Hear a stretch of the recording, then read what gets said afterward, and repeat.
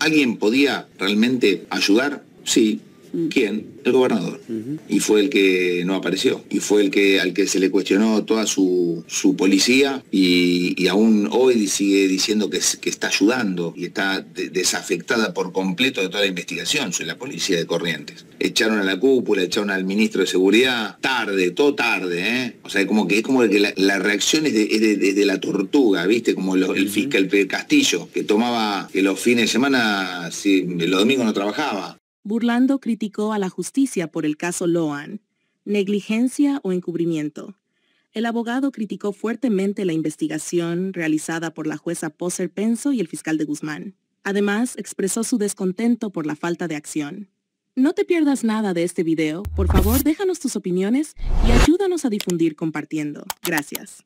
Bueno, ¿qué te parecen todos estos operativos? Otra vez una cámara GS que no es muy recomendable. La sensación es que estamos en foja cero, ¿puede ser? Sí, bueno, mira, déjame decirte que los operativos pedimos nosotros que se repitan, porque vimos con la precariedad que se habían hecho los anteriores. En un momento, en una, en una zona de agua, vimos que estaban buscando a Loan con un palo. Sí, sí, lo vi. Y eso el, protocolo dice que no se hace de esa manera, ¿no? Se hace de una manera diferente. Se utilizan otros elementos, ¿eh? como robadores, este, y, también buzos, ¿no? El robadores, esos son esos tres anzuelos, el que, el que pesca sabe de qué se trata, son tres anzuelos este, colocados en diferentes, este, y, se va, y se van a este, sobre el lecho de, ya sea de la laguna, del río, lo que sea, se va este, arrastrando. ¿no? no nos olvidemos que entre los acusados hay una persona que conoce mucho de este tema. Entonces, la primera este, impresión que nosotros tuvimos cuando llegamos es que los rastrillajes no se ven hechos de manera adecuada. Pero es cierto, la investigación está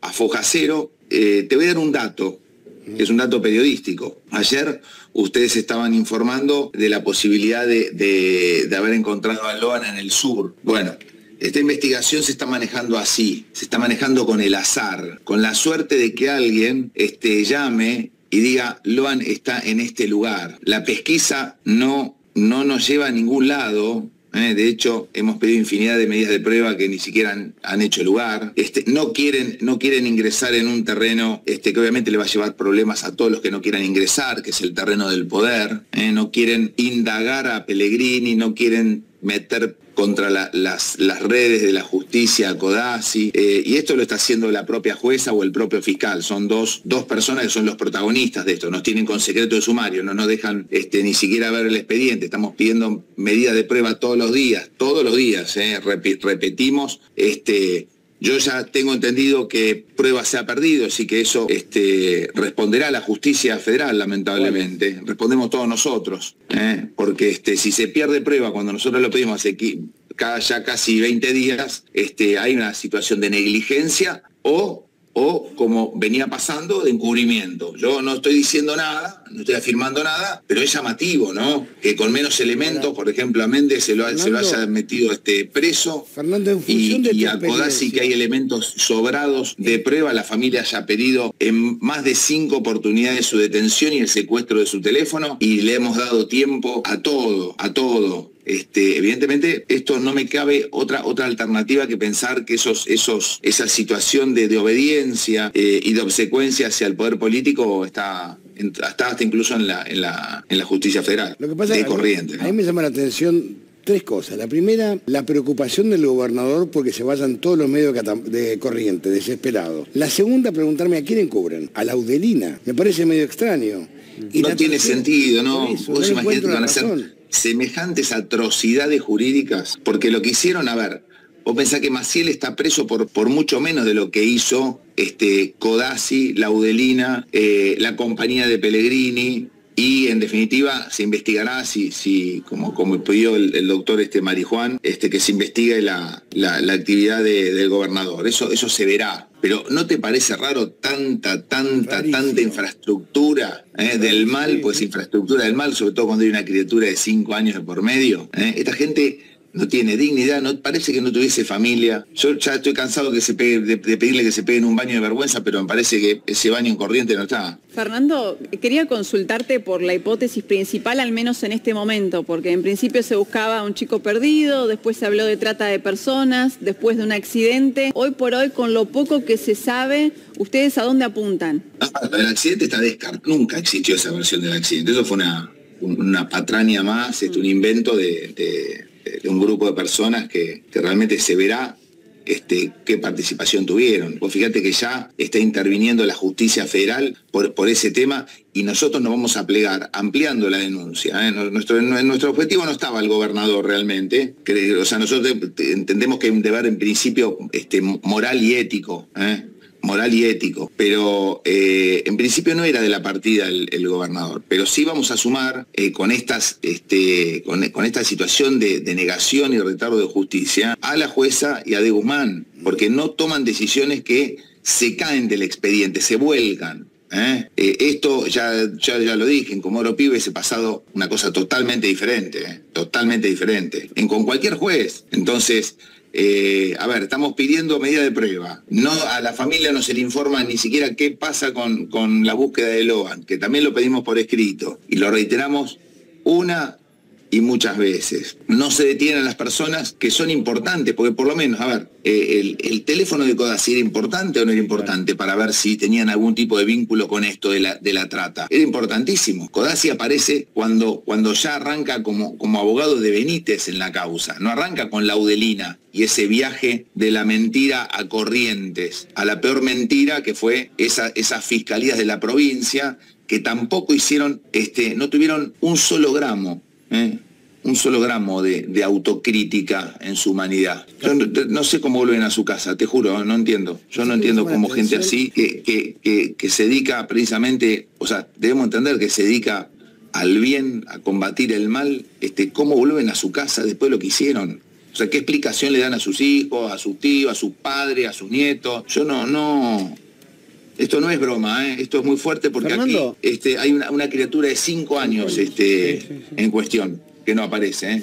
Y todos, y todos, todos, todos, todos estos, estos que, que mencionamos, este, no, no les importa. Fernando, se te nota enojado. No les importa eh, la gente humilde no les importa, a los papás de Logan, los hermanos de Logan, no les importa. Fernando. Y así no, así no, así no, así no es la justicia, ¿eh? es esta gente nomás, ¿eh? Se te nota enojado, es justo, yo creo que todos los correntinos están enojados, la mayoría estamos enojados por los pocos avances, pero te quiero preguntar por algo que está pasando ahora, porque van a indagar a Maciel una vez más, y esta ampliación. más, de lo, más, de lo mi. Escúchame, a ver Recién te dije algo. La investigación está caminando eh, con, con, el azar. ¿Por qué? Pues si llama uno y dice, encontré a Loan en, Misiones, van a ir y, si, para, y van a hacer un, operativo mega, o sea, aparatoso, eh, para que, obviamente, la gente ya está aprendida viendo si, ese chiquito era Loan, pero ese, ese operativo eh, ese operativo, había que hacerlo en las primeras 24 horas así, con publicidad y con todo lo que hay que hacer. ¿Entendés? Con publicidad, que se vea, que se note, ¿eh? que hay este, una, una este, voluntad eh, que, lucha en contra de, la trata. Pero acá no, para mí no saben ni, para dónde, no saben, no entienden lo que es la trata. ¿Vos crees que en esas primeras horas eh, le pedimos, que formen grupos operativos para que trabajen en la calle? Yo no escuché nada. Nada, nada. Le, pedimos que generen este, grupos este, para, para conducir la, pesquisa. Hay mucha gente de mucho valor que aparte tiene ganas de investigar esto. Pues o sea, para el tipo, al policía, vos le das esto y es, es lo mejor que le puedes dar, ¿entendés? Che, investigame esto y que se, que se infiltre y se meta donde, donde, donde yo no puedo meterme, si yo soy una bandera caminando, ¿entendés? ¿Qué voy a ir a buscarlo a un, prostíbulo de criaturas? O en esquina, como, como dicen que hay, que hay este, eh, turismo, turismo este, sexual. ¿Qué voy a hacer yo ahí? Si, donde, donde caigo disparan como ratas. Ahora, Fernando, digamos, está la hipótesis esta que vos estás planteando, la del abuso sexual o la... Mm, no, perdóname. Yo hace una semana... La trata de personas. una semana lo, buscaba restos humanos también. Yo no descarto ninguna hipótesis. ¿eh?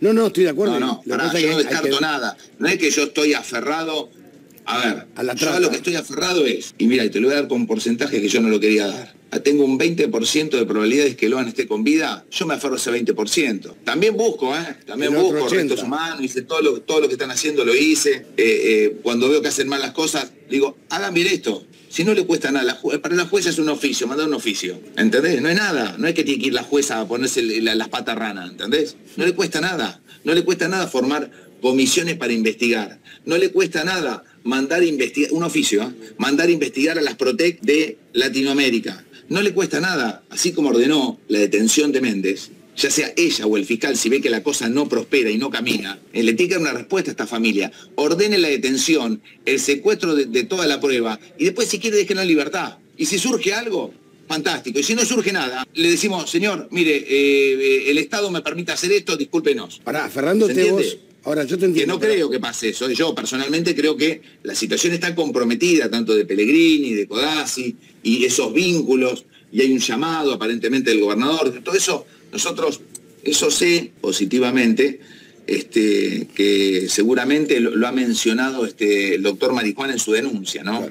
Ahora, tengo una pregunta, Fernando. Aferrándote ese 20% de probabilidad que vos querés y querés creer que Loan esté vivo. Al haber todo tan rápido, ¿no crees también que Loan a los dos días ya era un chiquito que quemaba? ¿Estaba demasiado caliente, Loan demasiado expuesto?